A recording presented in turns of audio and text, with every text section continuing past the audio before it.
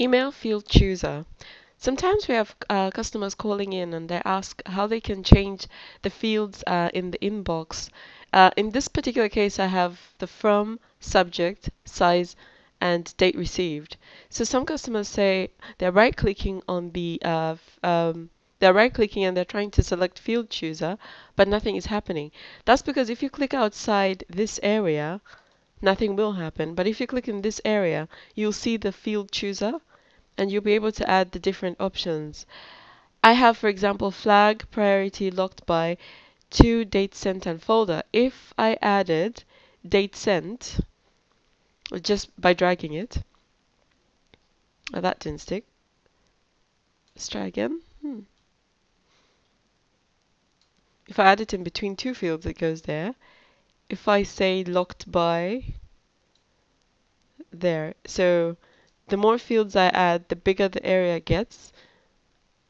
If I close that again, try and click outside, still nothing happens. If I click inside, I'm still able to click on field chooser, but at least the area is wider now.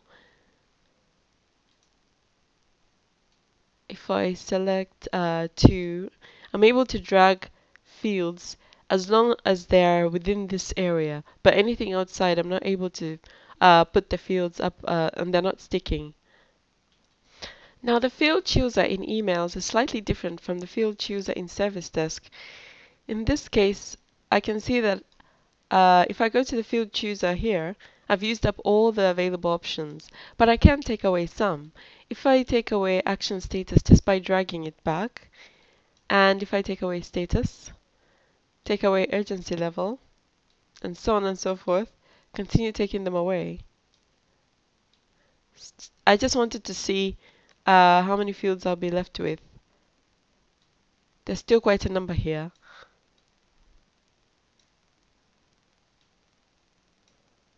So you can take away fields and you can put them back just by dragging.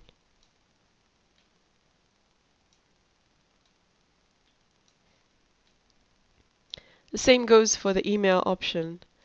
If you go back to the email, which is um, this one, I right click and I click on field chooser, I should be able to drag back the fields that I don't want to display.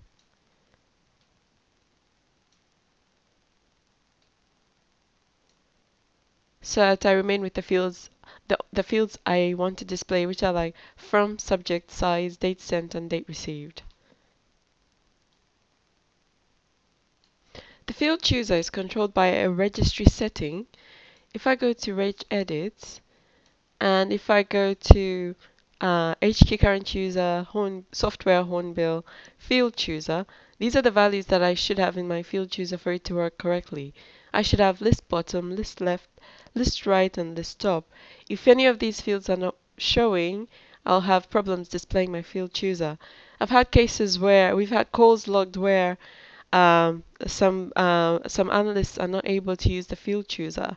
So in such a case, all you have to do is find a an analyst for whom it's working and copy this registry setting. It's called field chooser onto the machine where it's not working and it should be able to work afterwards correctly. Thank you.